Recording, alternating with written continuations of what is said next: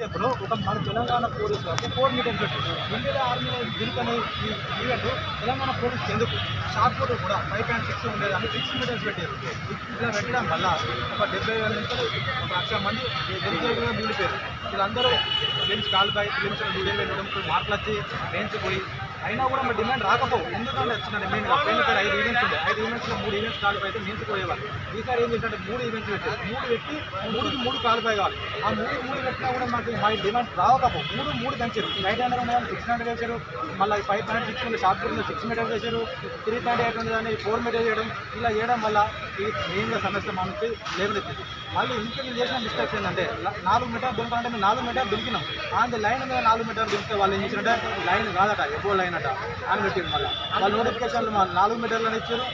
మళ్ళీ నేను ఈవెంట్ పోయినప్పుడు ఎబో నాలుగు మీటర్లను ఇవ్వడం జర ఇట్లా నష్టానికి గురైనాం. ఈ నష్టానికి ఖచ్చితంగా మా నుంచి మేము నిరసన వ్యక్తం చేస్తున్నాం. వీరిపై ప్రభుత్వానికి ఎప్పటికప్పుడు ప్రతి మంత్రిని కలిసినాం ప్రతి ఎమ్మెల్యేని కలిసినాం. ఈరోజు కేటీఆర్ని కూడా కలవడం జరిగింది. మా బాధలు ఎప్పటికప్పుడు చెప్తూనే ఉంటున్నాం. వాళ్ళు ఏమైనా చేస్తాం చూస్తాం అని ఆ చెప్తూనే ఉన్నారు. ఈ అసెంబ్లీ సెషన్ వరకు మా సమస్యను పరిష్కరించకపోతే పెద్ద ఎత్తున యుద్ధం చేసడానికి సిద్ధంగా ఉన్నాం. మేము మా ప్రధాన డిమాండ్ ఏంటంటే సిక్స్ హండ్రెడ్ ఎయిట్ హండ్రెడ్ కొట్టిన వారికి మెయిన్స్ అవకాశం కల్పించాలి. ఇదే మా ప్రధాన డిమాండ్.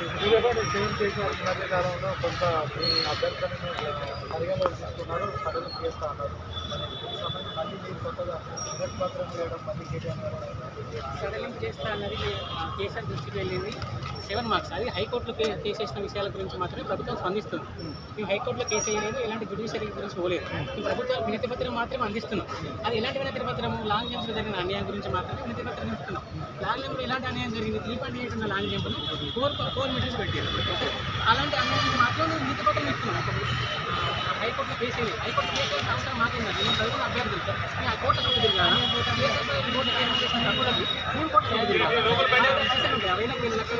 కోర్టు తిరుగుతుంది గవర్నమెంట్ టైం మా పెంచడం వల్ల రాష్ట్ర వ్యాప్తంగా సుమారు డెబ్బై నుంచి లక్ష మంది అభ్యర్థులు నష్టపోవడం జరిగింది. డెబ్బై వేల నుంచి లక్ష మంది అభ్యర్థులకు మెయిన్స్ అవకాశం ఇవ్వాలని చెప్పి ప్రధాన డిమాండ్ ఈ సమస్యను మరి కేసీఆర్ గారికి విన్నవించుకున్నారు కానీ ఏం లేదు ఇప్పుడు చాలా సెక్యూరిటీ ప్రాబ్లం వల్ల మేము కేసీఆర్ గారికి ఇవ్వలేదు. కానీ మేము లెటర్ ఇచ్చాం.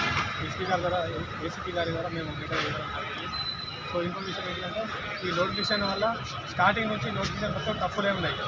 అసలు ఈ నోటిఫికేషన్ ఇవ్వకుండా బాగుండేది. ఎందుకంటే ఆ నోటిఫికేషన్ ఇచ్చి దాంట్లో లాభం అనేది లేదు. సో కాబట్టి ఈ బోర్డు చైర్మన్ ఎవరైతే